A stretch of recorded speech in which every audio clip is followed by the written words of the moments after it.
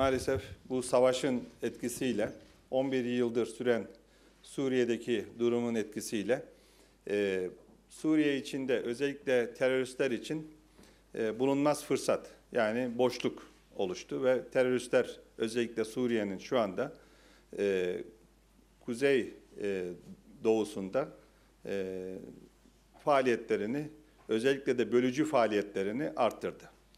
Şimdi e, Suriye'de şu anda PKK ve YPG'nin amacı belli. Bazı ülkelerin de desteğiyle sürekli güçlenmeye çalışıyorlar ve Suriye'yi bölmek amacındalar. Yani bir terör devleti kurmak e, niyetindeler. Ve bizim sınırımızın hemen e, ötesinde e, bir terör koridoru oluşturmak istediler. Doğudan Akdeniz'e ulaşacak bir terör koridoru. Biz gerek DAEŞ'e karşı, önce DAEŞ bu koridoru oluşturmak istedi. Daha sonra PKK, YPG. Hem DAEŞ'e hem de PKK'ya yönelik operasyonlarımızla bu planları öldürdük. Fakat e, bu bazı bölgeleri bizim teröristlerden temizlememize ve Suriyelilerin de burada buralara dönüşlerini desteklememize rağmen e, özellikle e, Tel Rifat, Münbiç yani Fırat'ın batısında iki bölgede ve de e, Fırat'ın doğusunda, Suriye'nin kuzey doğusunda PKK, YPG mevcudiyeti artarak devam ediyor. Biz bunları hedef alıyoruz. Onlar bize saldırıyorlar, e, Suriyeli sivillere saldırıyorlar. Oradaki azınlık halklarına yönelik e, ciddi baskıları var, zulüm var. Çocuklarını zorla silahlandırıyorlar. Irak'ta da aynı şeyi yapıyorlar.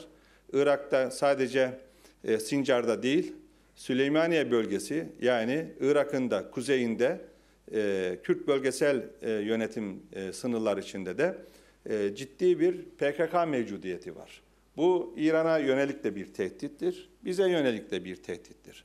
Ama Suriye'ye dönecek olursak biz bu teröristlere karşı müdahalelerde bulunuyoruz. Ama bu teröristlerin buralardan e, temizlenmesi gerekiyor.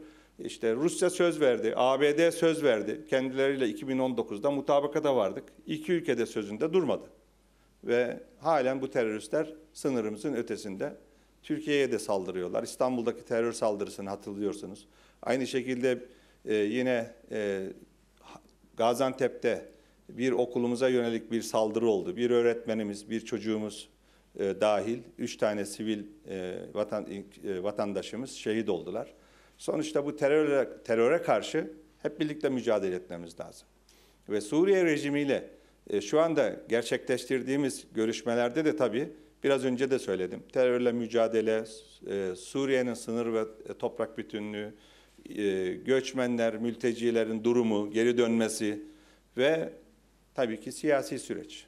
Siyasi e, süreç. BM Güvenlik Konseyi'nin 2254 sayılı kararı çerçevesinde kalıcı bir barış ve istikrar için siyasi sürecin işletilmesi gerekiyor. Bu konuda da biz Astana garantörleri olarak üzerimize düşeni daha fazla yapmamız gerekiyor. Teşekkür ederim.